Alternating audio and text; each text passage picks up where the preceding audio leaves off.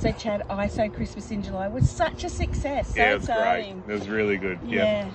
Nice to do something for the members since we can't host our normal members functions here and now we're going to miss out on Budburst. Yeah, it's very sad, but we're bringing it to you again, and um, a really nice menu and some beautiful wine. So looking forward to it, Sal. Okay, let's get in the kitchen. Is it just as easy as last time? Even easier. Yay! Okay, Sally, I've organised this um, this menu around cooking outside, possibly on barbecue. But if we don't have barbecues, don't stress. We've got frying pans, we've got skillets. We can do all these things in those. We're making our canapé, so we're going to put our chorizo on the barbecue, a little bit of oil, and just give that a little bit of a fry up. Then we're going to get our bread, put a little bit more olive oil on that.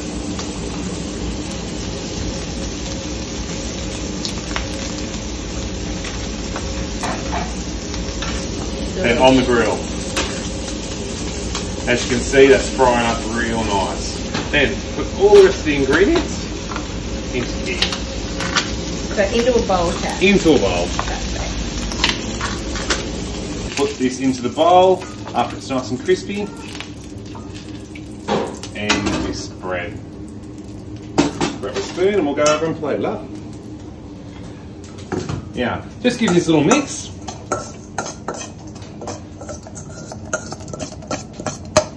Okay.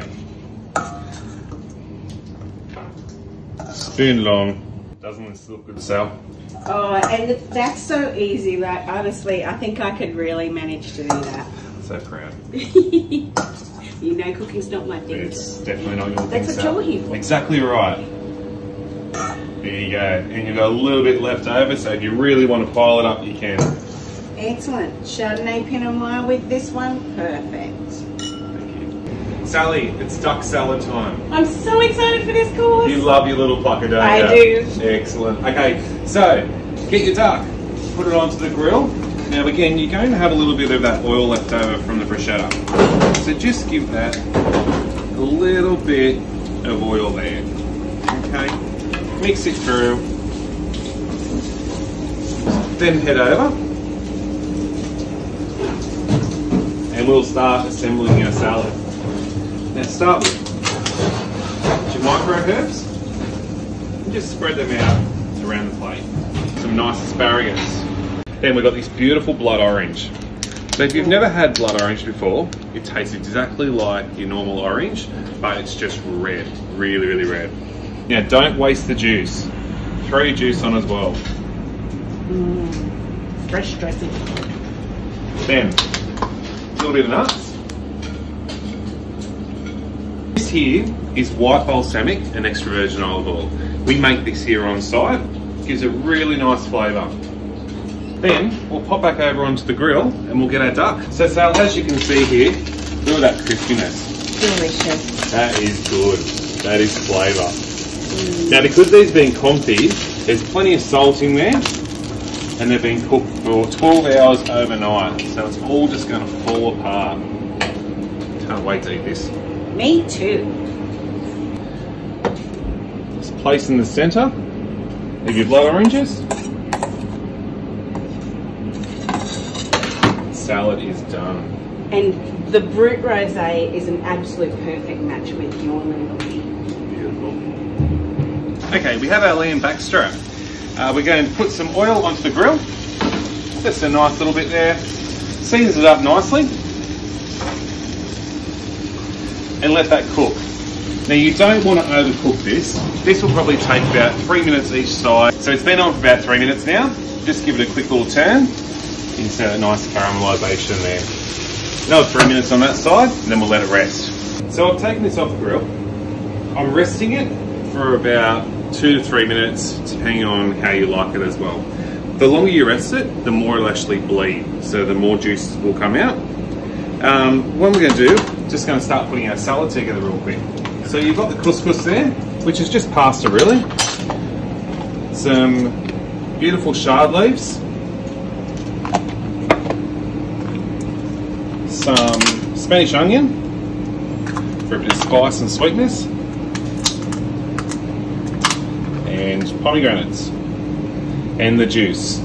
juice is always important. Give that a little toss around and using hands or tongs wherever you feel more comfortable. Okay. Now, what we're going to do, you can do it different ways. I'm just going to cut this into three. So nice slices like that. And look at that, that's beautifully cooked. Grab your yogurt. Now this has got mint, um, some salt, some pepper, beautiful things in there. Straight on top. And Sally, a 2011 Merlot. Absolutely, Chad. And if ever there was a match for this, that dish is it. Looks good. Cheers. Cheers. So we're on to dessert now. Today we have for you our ash brie, which is beautiful from Binnorie. Again, you can do this barbecue, pan, anything. Just gonna stick it on a piece of baking paper so it doesn't stick. Put on the grill, get nice and hot. Then we're gonna take our honey mixture and we're gonna pop it in the microwave for 30 seconds. So after this has been on your barbecue pan, whatever for a little bit, it'll be a bit soft, a bit gooey. So we will carefully take it off with the help of a tray or a plate, whatever you have. Maybe not like that.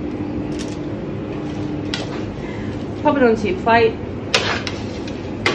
This is our honey thyme sultana mixture that we've heated up.